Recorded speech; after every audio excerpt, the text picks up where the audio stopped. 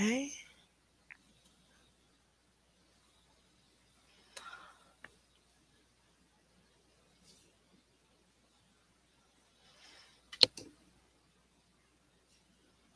There we go. Mm -hmm.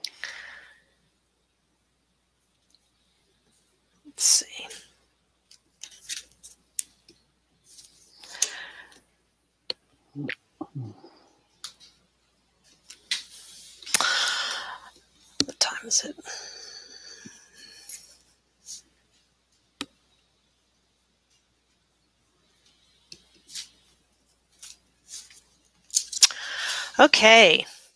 Good afternoon, everybody. We're going to go ahead and get started so we can get this rolling right on time. Welcome to the Brown Bag Lecture Series uh, from BRIT, the Botanical Research Institute of Texas. I'm Dr. Brooke Best. I'm the Director of Research Programs here, and I oversee this lecture series, which takes place the first Tuesday of every month. Before we get started, I'd like to mention that this lecture and the accompanying chat on YouTube are both being recorded, and those will be available in the future on BRIT's YouTube channel uh, any links to the video or other resources, if we need to share those, those will be made available on BRIT's uh, website on the event page for this talk.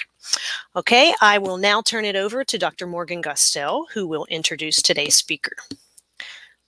Let me unmute him. Oh, there you go. Okay. Good afternoon, everyone, and thanks for coming. Uh, thank you especially to our speaker today, Dr. Bort Edwards, who's going to be talking to us about why there are so many dang daisies. I'm very pleased to be able to invite him today to our speaker series. He's a friend of mine for several years, a former office and lab mate at the Smithsonian uh, Institution's National Museum of Natural History. Bort is a plant taxonomist, biogeographer, and plant systematist who uh, does a lot of really neat work combining this uh, phylogenetic and taxonomic data with environmental data to understand how plants interact with their environment along a gradient and then modeling sort of how to be able to predict their distributions. A lot of his work is focused on how plants evolve at the extremes of environments and so today he's going to be talking a little bit about this work and how it's driven or, or promoted evolution in the sunflower family, Asteraceae, or the daisy family. So um, let's see just a little bit of background. Bort completed his PhD in 2013 at the University of Queensland in Brisbane, Australia. Um, he is currently an associate research scientist at Yale University and with the Map of Life project. Um, I, of course, knew uh, Bort as a postdoctoral research uh, fellow at the Smithsonian Institution, where he was working on a um, project focused on understanding um, evolutionary interactions with large-scale environmental data in uh, the sunflower family. With that, I will uh, turn it over to my friend and colleague Bort, who uh, will enthrall you for the next hour with um, some of the really cool work that he does. So thank you very much. Cool. Um, well, thank you very much, Morgan. Thank you, Brooke.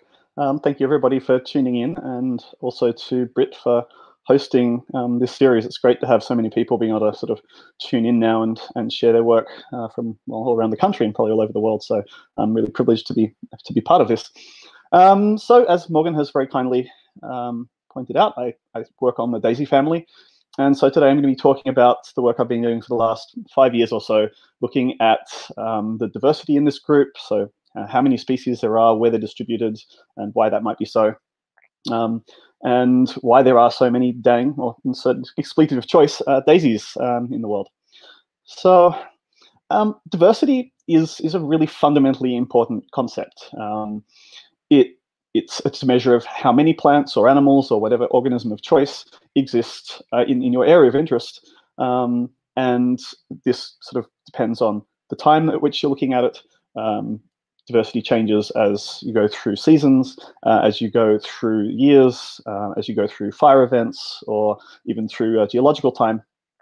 It also varies at scale. So uh, the small plot that you make if you walked out into your backyard will have a certain number of plants or animals in it.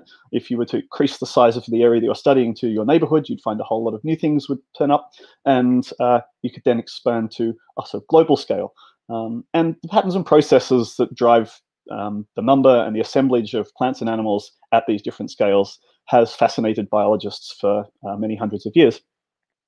And again, the reasons for this are not only intellectual, but we rely upon this diversity of plants and animals and resources um, for the survival of our own species. And um, the the threat that we uh, are ourselves imposing upon this diversity um, is something that threatens our own survival going forward.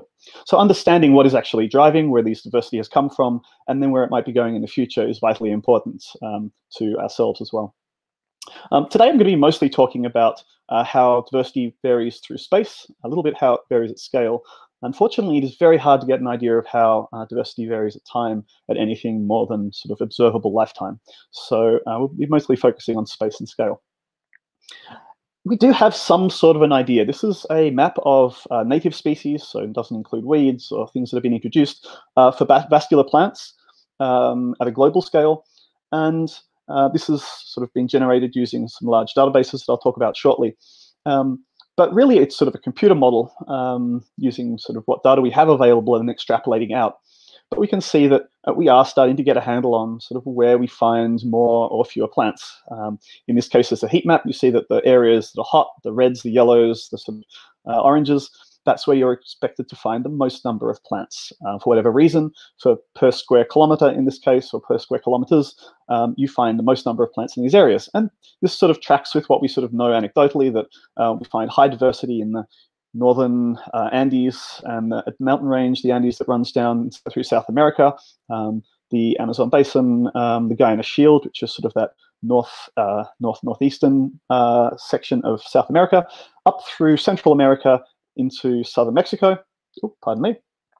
Uh, there's also some little hotspots in uh, Central Africa and the Fynbos right down the very tip of the Cape, where you find exceptional diversity. Uh, Madagascar there as well, which is where Morgan does a lot of his work, has a phenomenal um, number of plants and animals that are found nowhere else and also packed in very tightly, so rich diversity.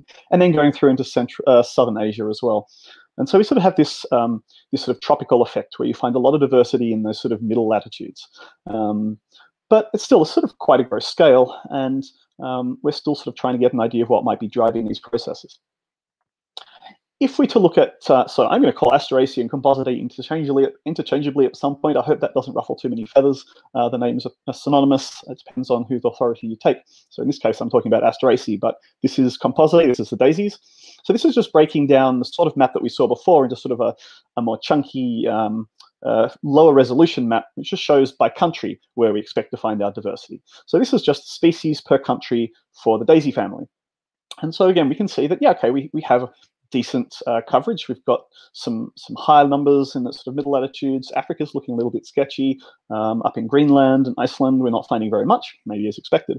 But it seems like we have fairly sort of good coverage of plants across the globe if we look at the number of records uh, per country, this is, this is the number of collections, how many times people have gone out and actually collected plants. So sort of another idea to try and get an idea of sort of how we're um, we're measuring our diversity. We see that again. We sort of have these sort of Western countries, um, North America, South America, Australia, and Europe are fairly well sampled. Africa's not doing terribly, except for some instances.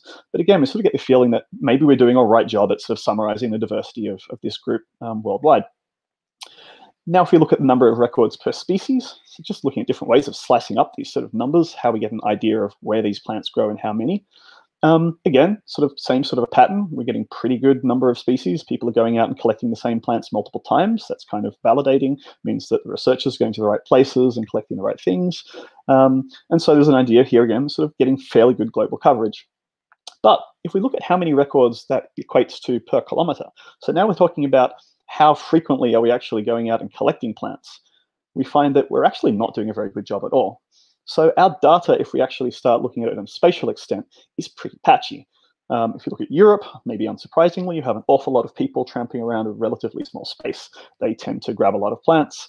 Um, and so we have pretty good records for that part of the area. Same with South Africa, we've had pretty good exploration there, and that Fynbos area means that a lot of people keep going back there to sample. Um, North America, uh, the US is doing moderately well, have a pretty good network of museums and collections here. Canada's got a lot of space and not so many people.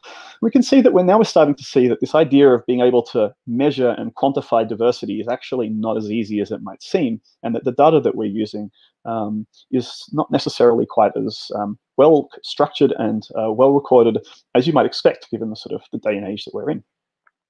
So, with that in mind, um, we set out to try and um, get an idea of, of the diversity of this family, this, this Compositae family, um, in the best way that we can. And one of the reasons we chose this, this group is because it's diversity and because it is relatively well collected. But we also decided to concentrate on North America because as we, as we sort of see before, um, it is moderately well collected. The resources and the collections are pretty good. So it gives us a good sort of a test tube, a good, um, a good case study in which to look at this group of plants. So that's the work I'm going to be mostly talking about today. Um, at a global scale, however, the family, um, it's probably the largest um, family of flowering plants depending on how well you get along with the person who studies orchids, they might claim that it's orchids, um, but uh, orchids are horribly oversplit, so it could well be very well be daisies. Daisies and orchids are, the two largest groups of plants in the world. They're found on every continent except Antarctica. Uh, they used to be found in Antarctica until it became covered in ice. Not particularly nice place for anything to be growing now, so uh, we find them everywhere else.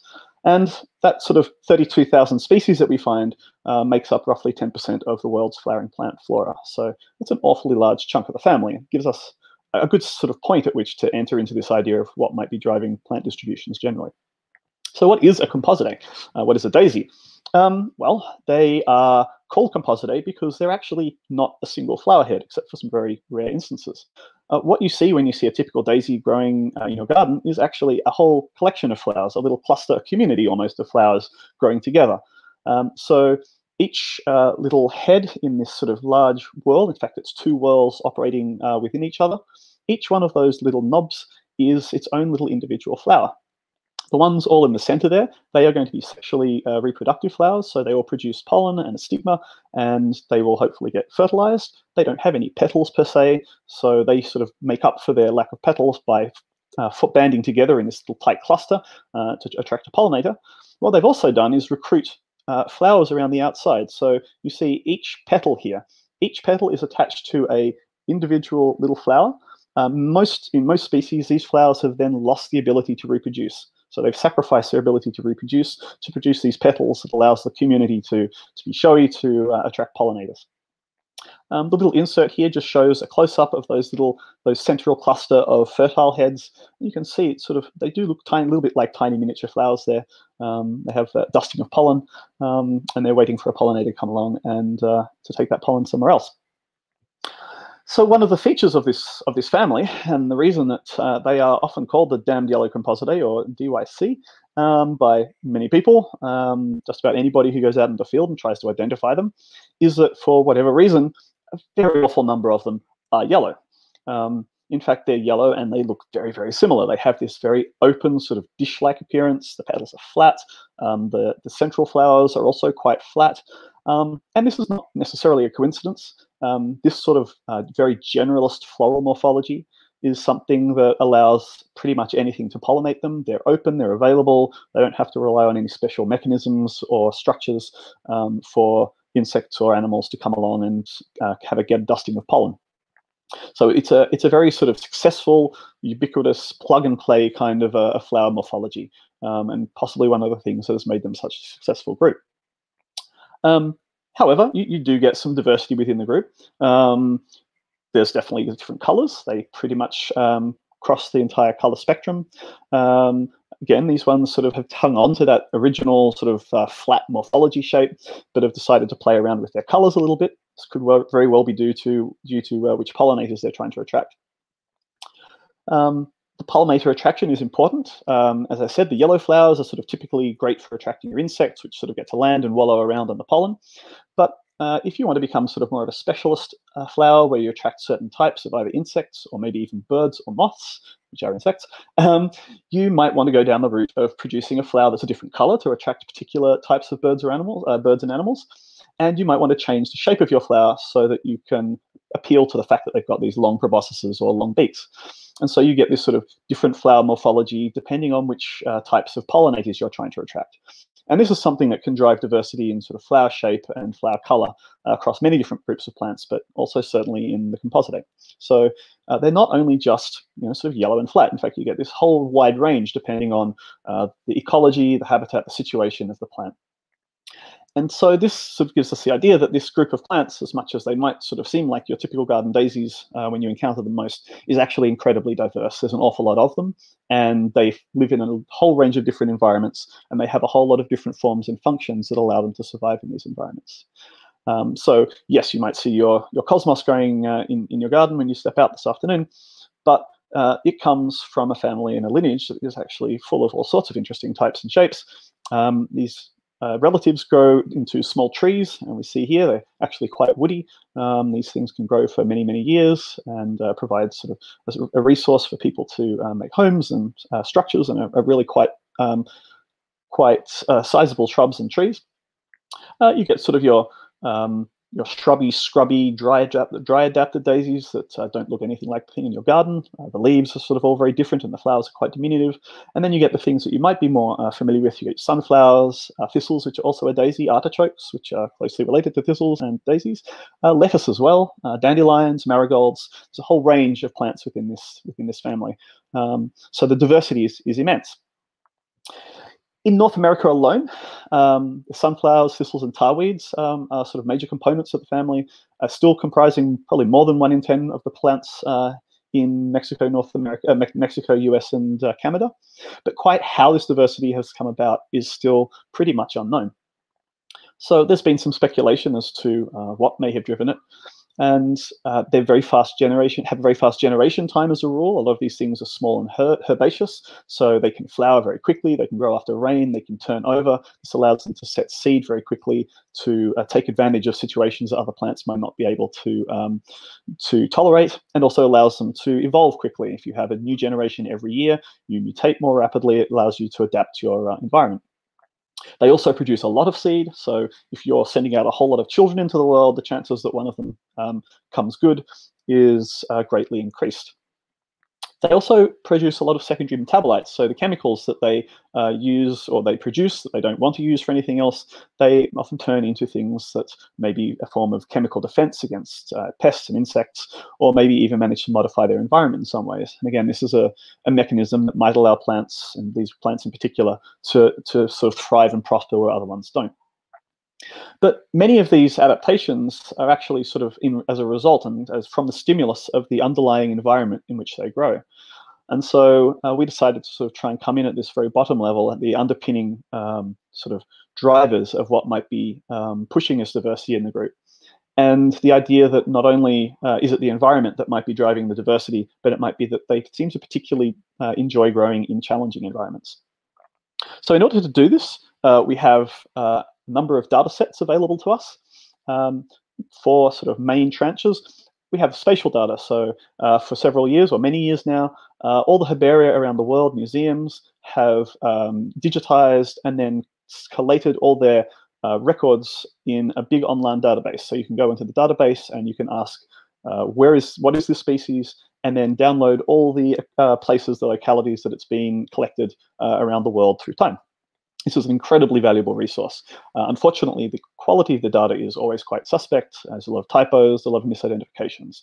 Uh, so data cleanliness is an issue, but our tools to deal with that are certainly coming a long way. Uh, the second layer that we need is the environmental data. So if you want to know what environments these plants are growing in, we need to know what the environment is. And again, in the last few years, we've seen the generation of large global scale maps that map uh, soil in the case of soil grids, climate in the case of climate, climate in, the, case of uh, WorldClim, and then at sort of on a local level for North America, the USGS has uh, geochemistry data, and these are sort of maps that you can ask if I have a locality point from my spatial data and I put it on the map here, what is the value for the soil, for the climate, for the geochemistry at this point? Uh, something else you might be interested in is the morphology. So what, what does my plant look like? This has typically been sort of one of the slowest um, sort of data collection methods. You have to sit there with a ruler and measure a whole lot of characters. But in the last even couple of months, um, we've seen machine learning. So um, museums have been scanning pictures of their specimens, and you can then take a computer and go through and automatically measure a whole lot of characters. So the amount of data available this way has exploded just in the last couple of years. Uh, and the final sort of level of data that we need is our phylogenetic data. So this is uh, DNA data, sequence data from people who've gone out um, and uh, sequenced the DNA of different plants, and then use that to try and um, to try and predict the relationships between these plants. And so you can end up with a family tree of the group that you're interested in. This was always this was sort of traditionally relatively fast moving compared to some of these other forms of data, but we've actually started to see it slow down. Um, the idea that we sort of generate more data, sort of whole genome sequencing now, uh, often means that we're going back and we're the same plants again. Um, but our breadth, we're not necessarily starting to sequence as many new species as we were. So it's actually surprisingly starting to lag behind some of the other sources of data. So how do you make a phylogeny? I'll just go this through this very quickly, just in case uh, not everybody is familiar. So we have our four plants here. Um, they look kind of pretty. We know they're different somehow, but we don't really know how they're related to each other. So we uh, go ahead and we sequence the DNA for each of them. Uh, the DNA tells us that uh, each one is a little bit different somehow, and sort of the code is a little different between each uh, each of those four. And using those differences, we can sort of cluster them together. We run algorithms that calculate the relationships um, of these plants, and we can push that back through time and inferring sort of ancestors that no longer exist that were common to, to some of these species. So uh, the two species on the right may have uh, shared a common ancestor at a certain time, and then all these plants would have shared, shared an ancestor even further back in time. So that's how we construct a phylogeny. Um, how is this going for the compositae? Well, um, it's it's a work in progress. Uh, only last year, we finally managed to get sort of a backbone for um, this group. So an awful lot of effort went into developing which parts of the DNA to sequence, um, and they sequenced a, a, whole bunch of species. But when you're dealing with sort of 32,000 species, um, we really only managed to touch the tip of the iceberg. Uh, and this means we sort of have, I said, a backbone. We get an idea now of where some of the groups within the family fit. So we call these tribes. Um, and so each of these little uh, branches here represents a tribe. And within each of those tribes, there might be hundreds, many hundreds of species. Uh, we don't necessarily know the relationships within those, but we can now get an idea of where these tribes, how these tribes relate to each other. As you can see, I've colored some of them yellow here. These are the tribes that are majority found in North America. So um, their ancestor arrived in North America and they radiated out and have sort of mostly kept the family um, within the continent. And so when looking, if we're going to study the, the role that radiation or environment has played in radiation of these groups in North America, um, we're going to concentrate on these groups because they give us sort of a an in situ and in home sort of isolated idea of, of what this group might be doing. Um, so uh, we, we identified uh, 13 of these tribes. Um, however, um, 10 of these are actually sort of very closely related to each other, so it could be considered a single unit in some ways. That's the group down towards the bottom there, the Heliantheae group, the sunflowers, uh, and the tarweeds. But we also have the Astereae, which looks like it may have arrived in North America independently of that Heliantheae group. So it sort of offers us a, a separate independent evolutionary lineage in which to sort of ask these questions. Uh, the Vernonieae as well, and the Cardueae, which is your thistles. Uh, so we sort of have four or nine, depending on how you want to look at it, different sort of groups of plants that have uh, evolved in North America that we can ask these questions about um, how their diversity may have arisen through time. Uh, just as an idea of how these groups break down, there's about 4,000 species uh, in North America in these groups. Um, the Astereae, sort of a large, fluffy, um, sort of seaside daisy group, about 900 species. Uh, the Cardueae, which is your thistles, about 87, although one of my colleagues is probably going to bump that number up a fair bit. Um, the Vernonieae, which is a bit of a mess and a grab bag of species. Uh, we don't really know a lot about what's going on within that group. Uh, it's about 120 species. And then, as I said, you get the, the sunflower group here with um, a whole lot of sort of nested uh, tribes um, that vary from just a few species, just a couple, all the way up to uh, 500 plus. So how do I go about this? So as I said, we have these databases of spatial data. So I downloaded uh, about 2 million records from this centralized database that represents um, uh, collections for these group of these groups of plants um, in North America. As we can see, that looks pretty good. Looks like we've got pretty good coverage. Gets a little sketchy as you get north and uh, fewer people running around, but uh, it sort of looks to all intents and purposes as though we've got pretty good coverage there. I should be confident that my data is is pretty well covered.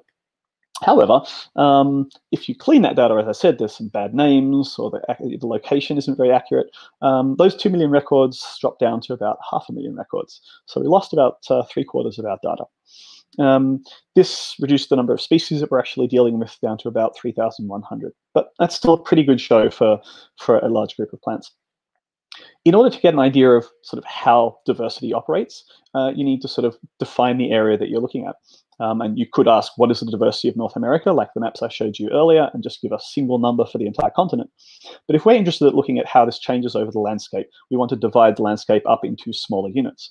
So we um, draw a grid that's uh, of grid cells that's 100 by 100 kilometer, kilometers on each edge. And then we calculate how many species, how many of these collections fall within each grid cell. So if we're looking at diversity, this is two ways of measuring diversity. One is turnover, and this is how, if I move from grid cell A to grid cell B, how much do the species, the types of species, and the number of species change as I move from grid cell A to grid cell B? And we can see here, the, the, hot colors suggest that there's a lot of turnover. So as I move across the landscape, species are coming and going, moving, uh, you know, so the species composition is changing quite quickly.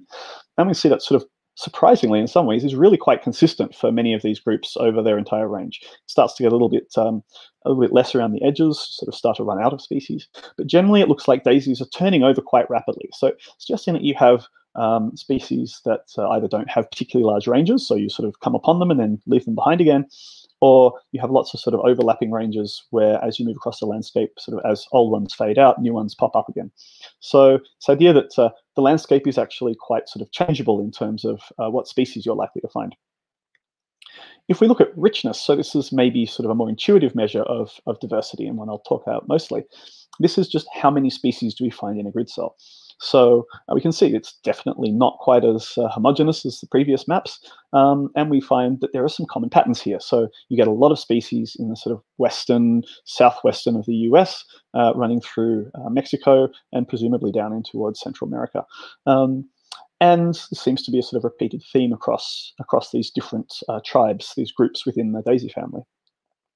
And this is not necessarily particularly unexpected. People know that the daisies are particularly diverse. In fact, uh, the California province is diverse for many groups of plants.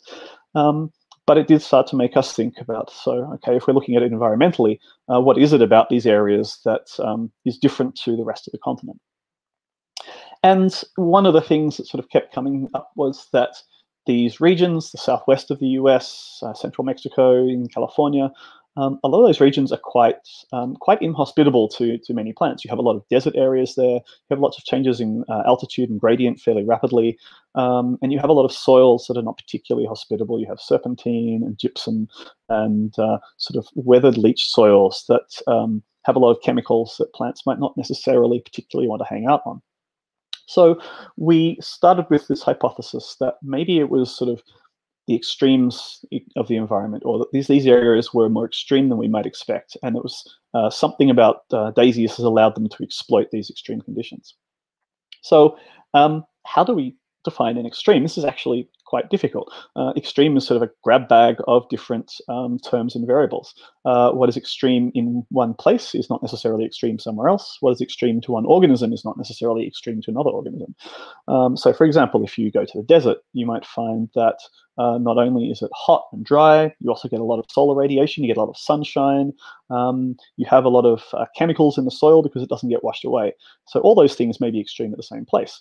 Uh, alternatively, you, you uh, maybe travel up the continent and you come across a bog and you find that the inverse is true. You have so much water that the plants are sitting in it, they can't breathe. Uh, the water might freeze during winter and the ice cracks the stems. So you have more situations where you have a different set of variables that are also extreme. So how do we characterize that? Uh, we have cold environments, we have hot environments, and we have environments with uh, different soils and uh, geology, like bottom right here, we have a little serpentine outcrop. So how do we go about sort of summarizing this um, across a whole bunch of very disparate variables? Uh, what is what is extreme? So uh, we sort of rough and ready this at this point. Um, and, and that is we sort of um, that by definition, um, the comfortable envelope of survival is sort of in the middle range of variables. So um, your sort of your nice temperate climate, your nice temperate rain, uh, where things are sort of normal, is where you'll find most things. Sort of by definition, extremes are rarer. The extremes sort of at the fringes. Um, And so if we wanted to find extreme, we should be looking for those fringe ends. So if you were to plot, say, the, the distribution of rainfall across the continent, you find that sort of a lot of the continent receives sort of this middle amount of rainfall. Uh, and there's sort of the fringes, the extremes, have either a very, very little amount of rainfall, so deserts, or have an awful lot of rainfall. So maybe a sort of uh, northwest um, sort of uh, temperate or tropical, uh, temperate rainforests. So by definition, extremes are going to be the top and or bottom ends of all these different variables. So how do we uh, how do we uh, untangle these and pull these out? So as I said, we have um, some uh, globally um, globally produced maps uh, that represent these different variables. We have climate, uh, soil and elevation, and geochemistry. And putting those together, we have about 182 different variables. And clearly, not all of those are relevant. A lot of things plants just aren't going to bother about. Also, a lot of those co-vary. So um, a lot of them, a lot of those variables are things like the wettest month of the year, but then there might be the wettest, wettest quarter of the year or uh, the wettest season of the year. And those things will often vary together. So if you look at the wettest month, it probably in the wettest quarter, which is probably in the wettest season. So if you were to include those three variables, they'd start to get in each other's way. You start to either start to take power away from each other in explaining um, explaining your data, or they sort of drag the data in their direction. So you want to remove variables that are very similar to each other. So we did that. Um, I won't go into how we did that. It's a very dark art, um, but it's it's sort of looking at uh, plotting the variables and just seeing how they line up against each other. Doing that, we uh, reduced those 181 down to 24 relevant uh, non-correlated variables. So for each of those variables, uh, so in this case, we've got uh, mean uh, humidity for the year. Um, we calculated the top um, 95, 95th percentile of landmass for that variable. So we asked where in, say, North America do we find the top 5% humidity in this data set? We did this separately for each different continent um, because we, the plants uh, are going to be sort of exposed to their local environment. Asking what the top 5% of humidity is globally might give you one little chunk of uh, sort of Central Asia, um, but that's not an area that the plants in Australia, South America, or Africa are actually exposed to. It's not relevant sort of on a global scale for them. So by dividing the continent, uh, the the uh, the world up into areas, we hope to sort of mitigate some of that sort of scale effect. So we asked, what is the, the top um, extreme uh, range for this variable in North America and the other continents?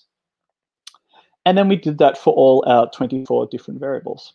Um, and so we now have, we can ask uh, where do our plants go, grow in relation to, say, the, the most extreme for wetness or precipitation.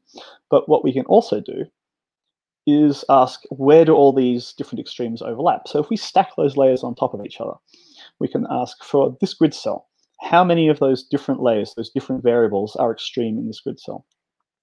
And so we can see here, that's exactly what we did, and we have a map of the world here. We find that at most we get eight of those 24 variables overlap in the same place. And that happens right around the middle, that sort of the elbow of South America there in the Andes, uh, where all those different ex extreme variables come together, and that's our most extreme point. Uh, but looking at this, um, you might sort of recognize some this pattern from a little bit earlier. We have sort of high extremes, the darker colors, in uh, southern western US, um, Baja Peninsula, in Mexico, down through Central America, uh, the Andes running down through South America, uh, the Fynbos, the south, south of, uh, of Africa, uh, running through the Middle East, Southeast Asia, and a little bit in Australia. So it sort of makes some gut sense that we seem to be seeing some sort of a match with uh, plant diversity.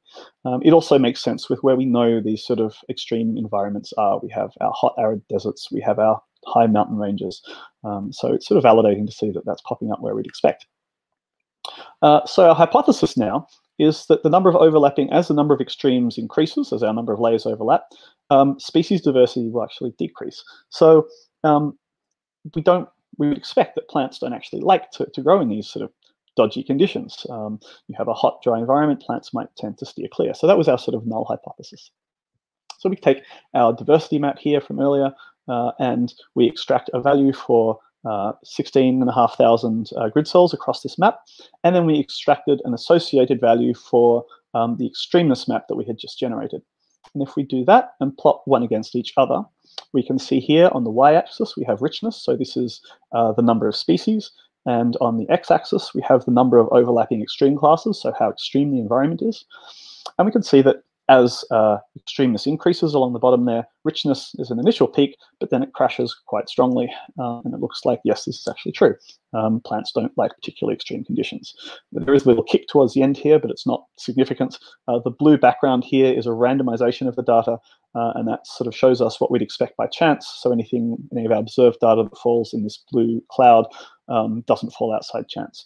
So for you can see, for where it's significant, we have a kick and then a drop off in our diversity. So yeah, it looks like globally, uh, as conditions become more extreme, uh, the plant, the number of plants drops away. Uh, just for anybody curious, uh, we did try and correct for uh, latitudinal gradient. There's an idea that as you move towards the equator, the number of plants increases, and so that might have been an artifact in our data. Um, but if we uh, correct, we regress against latitude, uh, we find that the signal uh, still applies. We still get this crash in diversity as extremeness increases. how does this break down by continent? So we see sort of Africa and Eurasia and South America uh, as expected on the global scale. Um, we see a drop in diversity as extremeness increases. Australia, not quite sure what's going on there. It seems like everything just lives in a really nasty environment. Um, so diversity kind of just muddles along regardless of how extreme it is. What's really interesting though is that North America here, uh, we actually see an increase in plant diversity as extremeness um, increases. This is slightly confusing and puzzling. This is, goes against our, our original hypothesis. So what might be going on here? Well, um, I'll just skip through this. This is just which in particular variables. Um, well, okay, I'll just quickly. That uh, there are some common variables if we to look at to look at sort of groups of variables in our data set. Um, water limitation seems to be very important in Australia and North America. Um, Australia uh, has high UV stress, which is uh, strongly correlated with plant richness, and North America it's heat stress. Um, so we can sort of tease out which individual variables might actually be driving these signals but what is going on in, in North America um, specifically. So we know from our work that we're, we're already studying the DAISY group, um, that we, we have a map uh, that shows richness of this group um, just for North America. You can see here we've plotted uh, the circles, the number of species is the size of the circle, and the extremeness um, for that grid cell is the color of the circle. And we see that sort of, yeah, by gut, that looks like it, it sort of lines up, that as cell, uh, circles get larger, um, the extremeness increases. So if we repeat the analysis before where we plot those against each other, we see, wow, it's an even stronger signal here. So for the DAISY family for North America, as uh, extremeness increases, uh, richness just keeps on going up. So again, this is sort of quite surprising, sort of in a general sense. But what we know about the daisies, this might not be quite so um, so surprising. Uh, they do sort of favour these conditions. So we know that North America has this general trend, and the Compositae have this trend. But how much of that sort of signal for North America is actually being driven by the daisies? Is it just daisies that are seeing that, that are sort of enjoying these nasty conditions and are particularly diverse? So if we actually subtract one from the other, uh, we find that we almost reduce that signal. So if you just look at uh, plants that are not daisies in North America, um, we see that uh, there's a non-significant tick at the end, but really it looks like most of the rest of the plants do not see uh, an increase in diversity um, as extremeness increases. So it looks like daisies are actually really driving the signal of, of plant composition, and certainly when it comes to um, extreme uh, environment composition uh, in North America. So I guess the next question that we were interested in is what, what are the specific environmental variables that are driving this diversification? Um, and so we know that this sort of southwest region of the US has been dry and weathering uh, sort of slowly through wind, but not very much rain um, for, for many um, hundreds of thousands, millions of years, um, which is in contrast to the rest of the continent, a lot of which has been going through glacial cycles. And we've had um, ice sheets come up and down sort of in the north of the country. Um, this sort of southwest area has been relatively stable and relatively dry.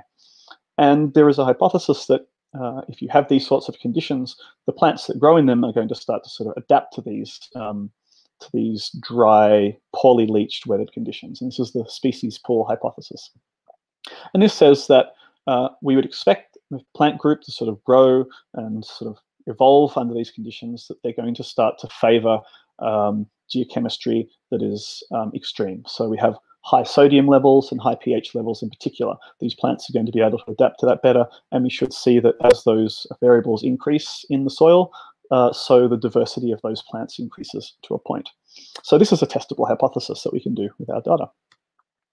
And indeed, so uh, we ran some models, and this just plots uh, the um, the number, the richness of species as uh, you increase in your variable. So in this case, the x-axis along the bottom here uh, for the left column of each set is uh, pH, and we have richness on the y, y-axis. Um, I've just highlighted here what is considered optimal pH for plant growth. And you can see that for the majority of these uh, six tribes, the, the largest increase, the largest bump in plant richness is actually uh, above this sort of optimal growth zone. So um, we have what it looks like is that these plants actually uh, have a greater increase in diversity um, above and beyond limits considered sort of typically uh, enjoyable by most plants. So um, this this is sort of um, fits with this hypothesis that they may have evolved uh, to tolerate these conditions. Uh, we see for uh, sodium, the Na, um, I've just marked out in lines here. This is the 85th to 95th percentile of values for the US, so it's right at the sort of oops, the, the sort of top end of of sodiumness uh, in North America. And uh, you can see again, we actually get a common sort of bump uh, in in the richness of these tribes uh, in this either a bump or it's part of sort of a general increase. So it looks like um, there's an increase in richness at these sort of top levels of sodium um, across these tribes. So this suggests that um, yes, it looks like these um, groups of plants have been growing in these uh, old, pauperate, leached, uh, sorry, not leached, but um, highly um, geochemically enriched soils for a long time. They've adapted to it, and it's actually what sort of helped drive their diversity. So just sort of as a little bit of a side, um, do we see the same response to the environment that we saw with sort of just richness, which is how many plants are growing in my cell, as we do with phylogenetic diversity? So as, as we saw before, we, we produced a, a phylogeny, which is the sort of family, the relationship of species. And we want to know that um, is are there are there are there uh, times in the history of this group where they've produced a lot of species, and if so, is that associated with any particular environmental variables? So is, is the environment pushing how fast species generate um, within these groups? So as I said, we have some issues here in that we, we really only still have a backbone for the family uh, and um, getting an idea of the family tree is problematic. So we set out to, to generate our own phylogeny. Uh, and to do this, we use some of those large public databases that I mentioned, referred to earlier. I won't um, go through too much of it just to say that um, we sort of used an iterative process um, because um, there are a lot of errors in the data. So we downloaded a whole lot of sequences, we generated a tree, we had a look at the tree and decided whether there were errors in there that we, um, we could correct ourselves. We corrected those, reran the generation of the tree again, until we ended up with um, what we considered to be a, a fairly robust um, tree representing these these 14 uh, tribes in North America. Um, and it looks a little bit like this. So we have about 1,600 taxa. So this is about half half of the the species uh, that we're interested in that are growing in North America. So the resources are available, but we're still missing about half the species. But it gives us a decent starting point to start asking um, how the relationships of these plants and how quickly those species generate may um, be associated with the environment they grow in. Just to say that these results are still not great um, because we're sort of uh, building these trees from this sort of public data set. Um, we have a lot of re uh, relationships that aren't properly resolved. Uh, we don't know how good, we can't sort of put a confidence on, on how good the relationships are. Um, and there's sort of bias, people who've gone out and sampled a lot of species in one particular group, whereas there are other groups of plants that people just haven't bothered to sample. So the trees aren't necessarily particularly um, well balanced. But this aside, it's a good starting point. I'm definitely not going to go through all the methods of how we look to see how environment was associated um, with diversification rate, mostly because I haven't had my coffee, um, but also because uh, this part of the work was done by two of my colleagues, Chase Mason and Eric Goolsby. Uh, if anybody would like to talk to, about the methods, so I'd be more than happy to. Um, but there are a sort of a number of series of methods that you can ask. Um, if if I have a number of splits in my tree, if I have a number of species being generated, um, is that faster than I might expect by chance? And if it is faster than expected by chance, is it associated with uh, any particular environmental variable? Um, and so, unfortunately, again, because we don't have as much data as we would like, we lost about uh, half the, the tribes that we were interested in. But for those that are remaining, one, two, three, four, five, six, seven, um, we can see that these are the variables uh, underneath uh, the name of each tribe, and they are the variables that are found to be um, associated, to be significantly associated with either increased or decreased diversification rates in that group. So, for example, the GTE here down towards the bottom, we see that there's a positive association where feldspar, which is a, a mineral in the soil, is high. Uh, that means that diversification is increased. Uh, where aluminium is uh, high, we find a negative association. So aluminium seems to lead to a decrease in diversification. Not necessarily to look at all the different variables here, but uh, we can see that almost all the variables that are associated with changes in how fast species are being generated or going extinct um, are uh, soil or geochemistry variables. So the substrate is also playing a very important role in how fast species are generating and turning over in, in the daisy family.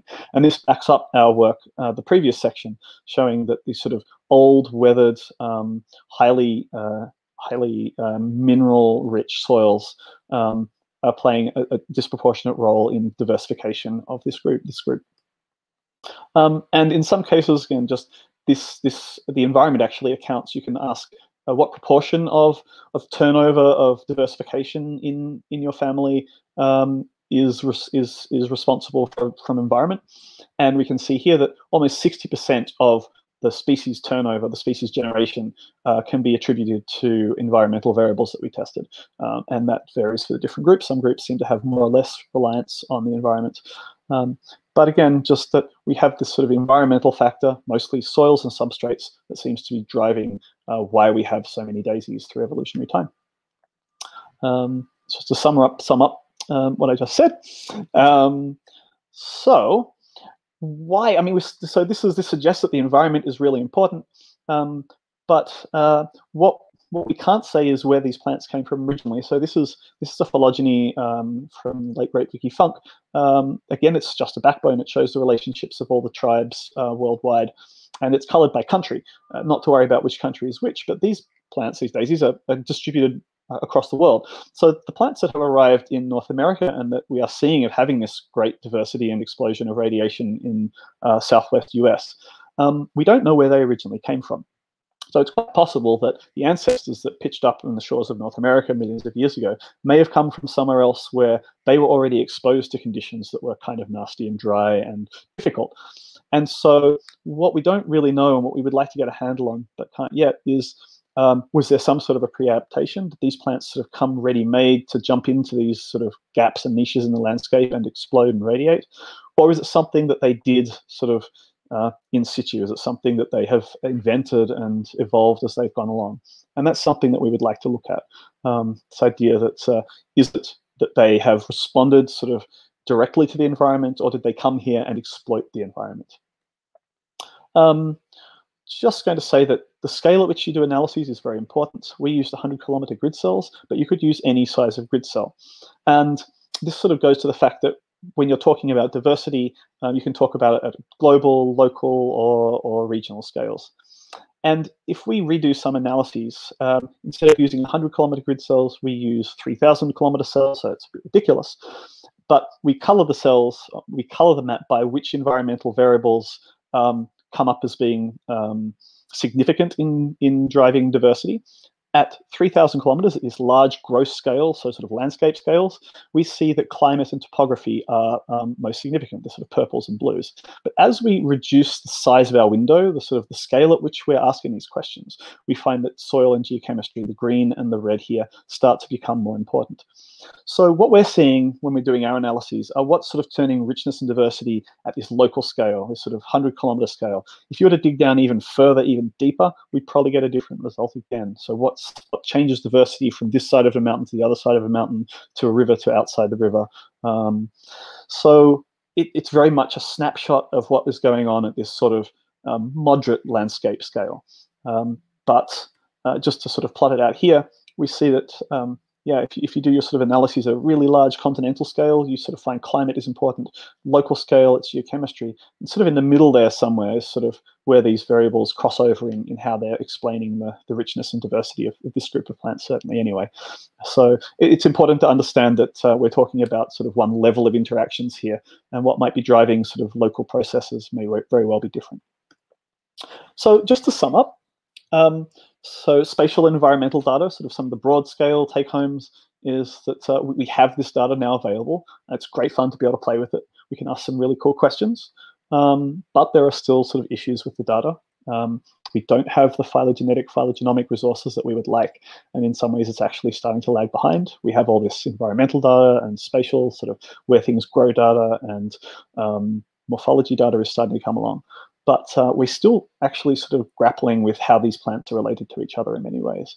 Um, and that's a, a problem with um, any group this size, but uh, one that we sort of need to sort of work towards uh, solving. We do have some methods, these sort of bootstrappy methods of making our own phylogenies, um, but they're not great. We lose a lot of our data, so something we'd like to improve on going forward, sort of as a community. Um, and the significance and influence of, of what variables might be driving diversity change at scales. Uh, so, um, you know, what what sort of questions you want to ask uh, is going to sort of influence how what scale you ask the questions at. But um, maybe most interesting for me and for us as plant people is that um, we we find that we can use this data to ask really cool questions. And from this, we see that um, vascular plant richness, so plant richness globally, doesn't the plants don't like extreme environments. Um, maybe unsurprisingly, they kind of tend to avoid it. But in North America, we see this is actually flipped around, um, that we have a greater richness of plants in these extreme environments, um, but that almost all of this can be explained just by the Compositae, by the daisy family, which really seems to have this love and affinity for, for um, harsh environments. And presumably this is because they have uh, it seems like from our data that this is because they have evolved in these um, difficult situations, which has allowed them to, to specialize in them, to radiate, to become diverse, and um, to succeed in them. Um, and uh, looking at how these diversification rates, how species have accrued through time, um, this certainly supports that. So just a little bit about the future. So this work is ongoing. Um, as I said, this work was what I have just talked about. It's mostly what I've done at the Smithsonian for the last few years. And um, I've just started my position at Yale University in the Map of Life. And the idea is that we're going to try and take this to a global scale. So instead of just concentrating on North America, um, we're going to be able to look at the diversity and distribution of the Daisy family uh, across the entire globe. And ultimately, we'd love to scale it up into all vascular plants. And so that's the ultimate goal of the Map of Life. And if you haven't had a chance to go check it out, um, it's a great and growing resource on being able to map and identify uh, where different groups of species occur. And you can generate a list. If you want to go somewhere, you can drop a pin and it'll spit out a list of species, mostly animals at this point, um, but species that you're might likely to encounter um, wherever you would like to, to, be, to, to go. Um, what we're hoping is that again, sort of looking at this at a global scale, we can sort of continue to ask these questions about um, what is the environment doing to, to drive diversity um, outside just of North America. And I guess sort of a lot of what this boils down to, as I said, the daisies in particular sort of seem to be well adapted. They have seeds and um, leaf chemicals and other sort of uh, life traits and histories that allows them to be successful. So the environment is what sort of facilitates this, but what is it that the plants have that allows them to exploit that? Um, and so ideally the, uh, the next step would be to look at seed characters or life history characters and see which of those things also correlate with the extreme environments. What is it about the actual plants themselves that has driven, allowed them to, to become successful?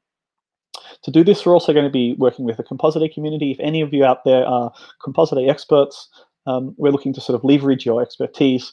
Uh, we want to sort of try and uh, improve our understanding of the relationships um, so that we can sort of use this data going forward. We need expert taxonomists to generate lists of where species grow and where we might expect to find them so we can have a good spatial data, and that will feed into our uh, diversity and evolution research. Uh, I'd like to thank a whole a slew of collaborators, uh, Walter Jetz, who's my current supervisor, and a colleague at Yale, Jennifer Mandel, who um, helped me through all of last year, um, and then a whole, a whole raft of people from USGS and other universities who um, have been essential in keeping this project going and um, sort of tackling these questions at such a large scale. But most of all, I'd like to thank Vicki Funk, um, sadly no longer with us, um, she was an absolute inspiration for anybody studying plants, anybody who uh, enjoyed uh, nature and diversity and just being a good person. Um, she uh, had an amazing passion for this group in particular, and um, we'd like to think that the work that we are doing is uh, going to drive her legacy forward, and anything that we can do to better understand um, how this this amazing uh, group of plants came to be and what it does um, is something that she would she would wish us to do. So uh, it's a sort of tribute to Vicki and uh, all the people that she has fostered she fostered throughout her career. Uh, leave you with the references, and if uh, there are any questions, I'd be more than happy to take them now, or I'm sure you can find ways to contact me afterwards. Thank you.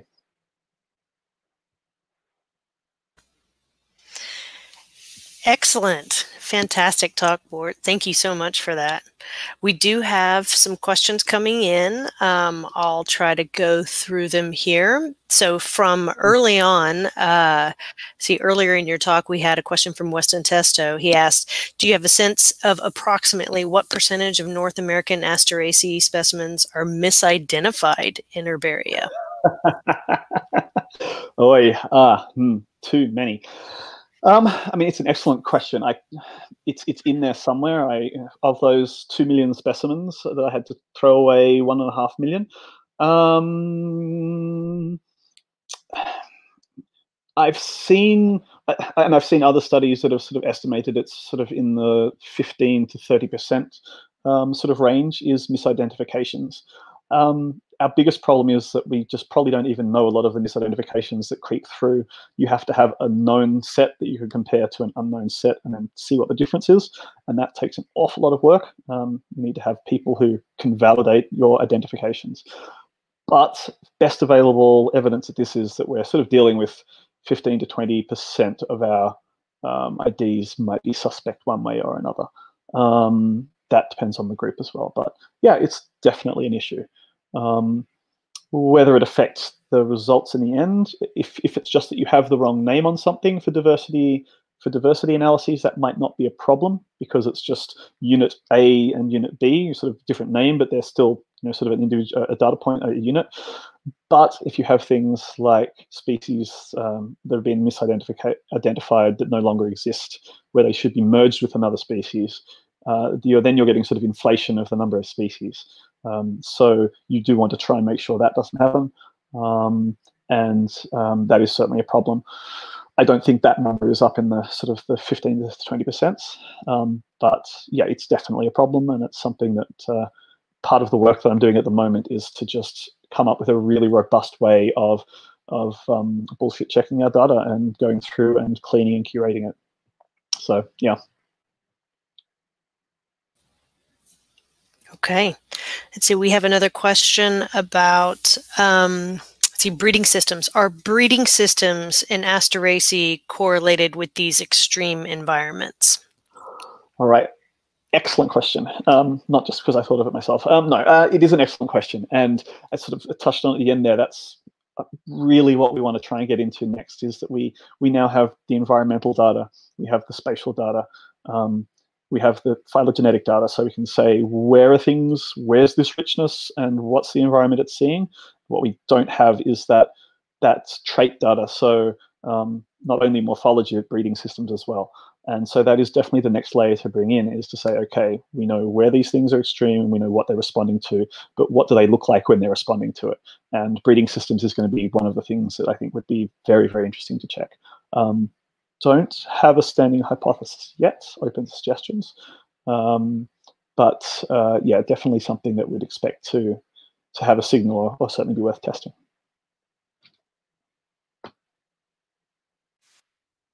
Great. Uh, a couple more questions. So our our collections manager here at Brit, Tiana Rehman, she asked, how can those of us generating the digital specimen records adjust our methods to reduce the amount of time you spend cleaning our data and prevent you having to throw our data oh, records out? Oh, that is an excellent question. Um, wow. If someone can come up with a solution to that, I'll love you forever. Um, honestly, a lot of it is it, it's difficult because some of it is sort of inherent in that different uh, herbaria often even encode their data slightly differently. So um, just the initials of the, of the author for a species, um, whether you put a space in between the period and the next initial means that the record will come at as, come as not unique, and it means I have to go through and remove all the spaces, say. Um, but that's something that you know one herbarium does for a reason and another does for a different reason, and there's no necessary necessary standard for that. Um, it's a lot of it is just errors. So just teaching our students really well. Um, you know, miss typos, um, just sort of getting little things wrong, wrong punctuation, um, putting question marks or um, hyphens in names that shouldn't have hyphens. Little things like that can just get very frustrating. Um, but uh, it's really just to curate that data. I mean, if if if it can be the better it can be curated at the museum level, so someone goes through and checks it and double checks it and triple checks it, and I know that takes time and money. That makes it easier for everybody else downstream. So uh, it really is just um, making sure that it's done well the first time. Okay, we have a question from Peter Fritsch. He asks, might be difficult to test, but could comp diversity be correlated with sunny versus shaded habitats? Um, right. So definitely there is a suggestion. Or we know that compositae don't grow very well in sort of forests. They're not massively tropically happy plants. Um, they don't seem to like being shaded out. Um, so that's definitely a thing. Uh, as to testing it, it is probably doable in that there are GIS layers that show canopy cover, and you could probably sort of do some analyses to test canopy cover um, against diversity. It would be a different sort of, it would be getting at a different sort of um, level of diversity of what we're going at at the moment. Um, I don't think that if you were to say, I, I don't think that shade is necessarily playing as important a role in these southwestern habitats. I don't think that assuming that everything else is equal, you, your plants are adapted to dry and um, and high salt soils. That if you chuck a tree in there, I am not sure that you're going to be able to tease out much of a shade effect there. Um, I think it would be a sort of separate question. Um, sort of globally, where you find denser forests, do you find less plant, uh, less um, composite diversity? Uh, and I think yes, that would be the expectation. And I think the data is probably out there to do it, and someone probably should do it.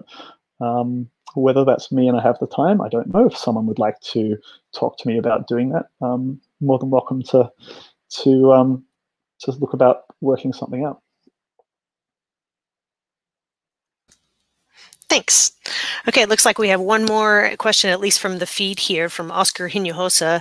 Some other families, such as Cactaceae, Amaranthaceae, Papaveraceae, occur in extreme environments, and they are not as diverse as Asteraceae. Do you have any thoughts on this? Um, okay, I'm just making a fool of myself not knowing their ecology so well. Um, I mean, I guess, again, we're sort of back to the next level of question is going to be, what is it about the, the daisies that allows them to be diverse? Um, and I can I can give you reasons why we think daisies might be good at it. Those dispersal, lots of seed, um, chemical adaptations. Um, so it's tempting to say well, the cacti, the other things don't have that, therefore they're not as good at it.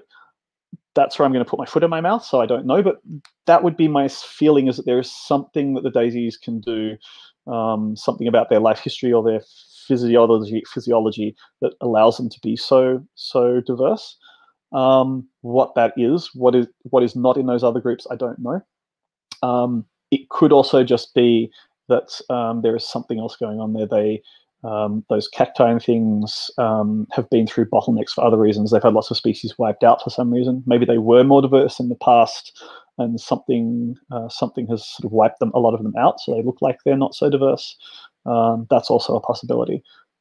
So, yeah, that that touches on a really good point, though, that um, this is great to ask these questions of a single group, but I mean, we want to know sort of these broad patterns. So we want to know what's going on with other groups of plants. Why are other groups of plants not doing it? Why other groups of plants are doing it?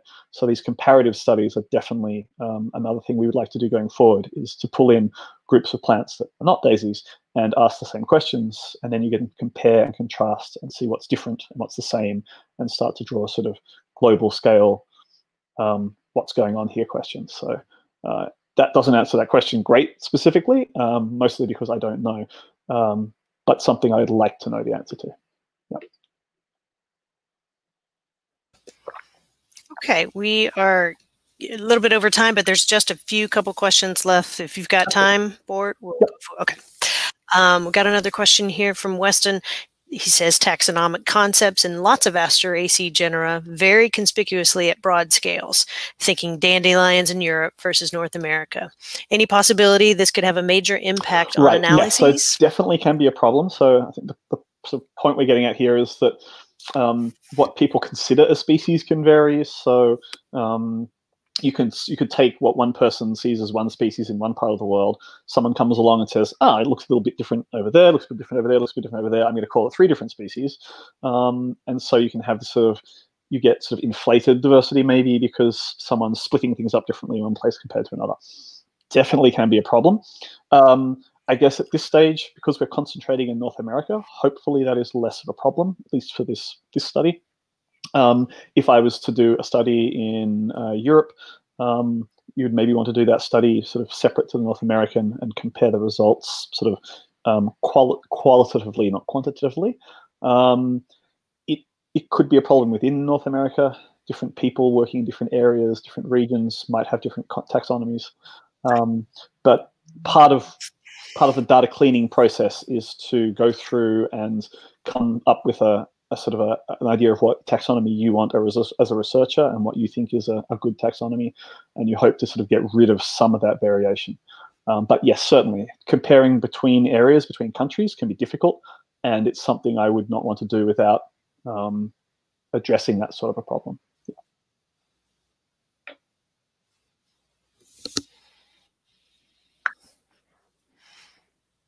Excellent.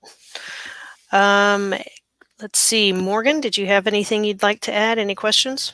Uh, none for me. No, it was a great talk. I really enjoyed it. For me, especially, I think having an opportunity to connect really some of the dots between doing the digitization to getting the downstream analyses, the kinds of um, questions, scientific questions you can ask when you digitize specimens at a massive scale like this was really neat to see. And you know, here at Brit, we have this um, collaborative uh, NSF grant for coordinating the uh, digitization of herbaria between Texas and Oklahoma. And so we're just doing this right now at our herbarium. And um, being able to see what you can do with that data when it comes out on the other end um, was really kind of enlightening. So thanks, Bort. It was really excellent talk. Enjoyed it a lot. Yeah, thank you. I especially have a um, I saw I, what jumped out at your heat maps was there's this nice boundary between very high, uh, what is it, northern Mexico diversity, and then strangely just across the border into Texas, very low. Um, so that just jumps out as there, that's a gap. We got to get down there. We got to yes. do some, some yes. extra um, exploration. Um, our there. efforts are still uh, are still sort of patchy in many areas, and, and that is a problem. And um, sort of compensating for that is difficult. But I, I mean, as as Morgan points out, you know, his herbaria are, are other ones who are donating this data in many ways, and it's it's it's with the effort of all these collectors and workers over hundreds of years that allows this research to be possible. And all the people sort of watching now who might go out and collect plants, um, it, it, might seem like a little thing to go collect one plants, one or two plants every now and again, but um, it all comes together into this sort of big scale um, data sets and ideas, and um, yeah, incredibly indebted to, to to generations of scientists. Well, thank you again for being with us today. Uh, I want to remind everybody that, let's see, um, next month we will have uh, Dr. West Testo will be giving a talk on uh, South American club mosses. So please tune in to that a month from now. Um, and thank you, Bort. Uh, we appreciate everything you do and all the wonderful research coming out of that lab up there. Thank you very much. No, it's been a pleasure. All right. Take care, everybody. We'll leave this up for just a little while, um, but we're going to go, we'll go silent.